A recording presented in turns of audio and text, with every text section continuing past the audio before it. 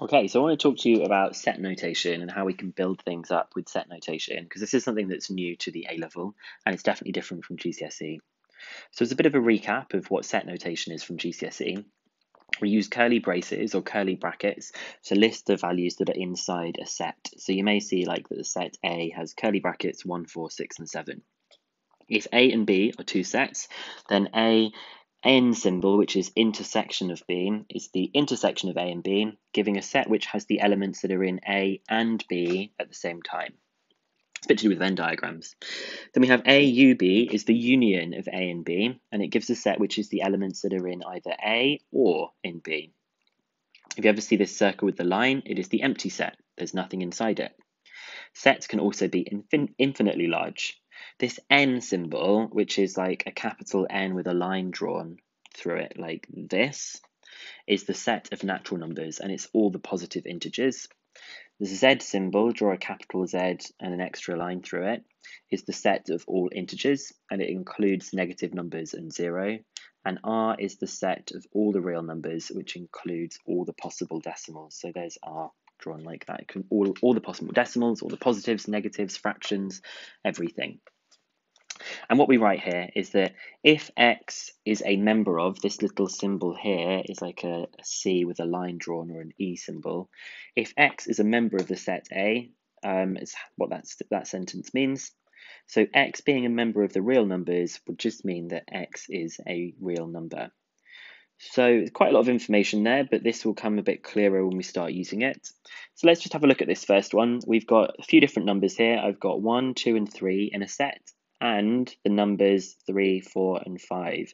Now, this intersection means that it needs to be the ones that they both have. So the only number that they both have is actually a 3. So these two sets that we've got here is actually just a 3. Now, the second one that we've got here has a union, which means that you can definitely have all of these and you can have all of these. But I wouldn't repeat writing 3 twice because I only want to include it once. So it's the union of these. So I would have one, two, three, four, and five for this.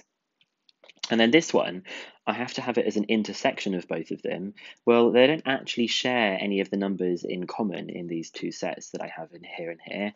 So this one is actually just the empty set. There is nothing in those two things combined.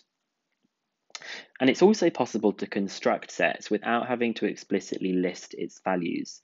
So what we use is something where we do a curly bracket, we say what the expression is that we're looking at, maybe something like x, and then we do a colon, and then we apply a condition. We might say something like this. So this would be the set of numbers of x which are greater than 2. So you might have things in there like 2.1, 2.003, 17, 500 pi, all of those numbers, I really should put a dot, dot, dot, all of those would belong in the set because they are values that are just greater than 2. So let's have a look at these ones, because you're going to need to be writing some of these when you get solution sets. Can you guess or work out what the following sets give? So this says we've got an expression, 2x, and it says that x is a member of the integers.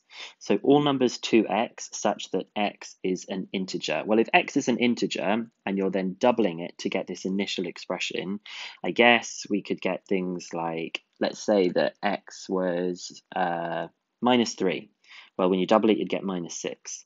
You could have it if it was minus 2, and you'd get minus 4.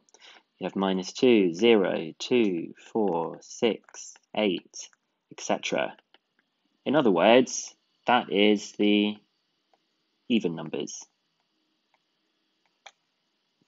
This one's a bit different. It says that x is a natural number. Now, the natural numbers, if you need reminding, the natural numbers are all of the positive integers that we've got here, all of the positive integers. So this time we're going to start with the positive integers. Sometimes people think zero is included. Lots of people think it isn't. So I'm going to say it's just going to start with one. So we'd have two to the power of one, which is two, two to the power of two, which is four, two to the power of three, 2 to the power of 4, 2 to the power of 5, so you can see here that this one is just the set of the powers of 2. And this one's not going to be a particular theme, but you're going to multiply x and y as long as they are prime numbers. So let's just pick if x and y were both 2. you'd get 4. If x was 2 and y was 11, you could get 22. If x was 3 and y was 5, you could get 15. So what do we have here? We had 2 and 2, 2 and 11, 3 and 5. I don't know, you could have 17 and 3, which is uh, 51.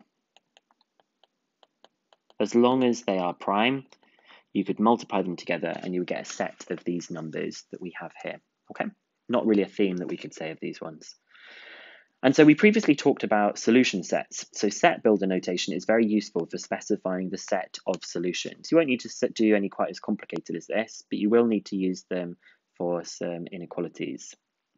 So here I'm going to say, can we use set builder notation to specify the following sets? You might like to have a go at doing this and then see what I've come up with.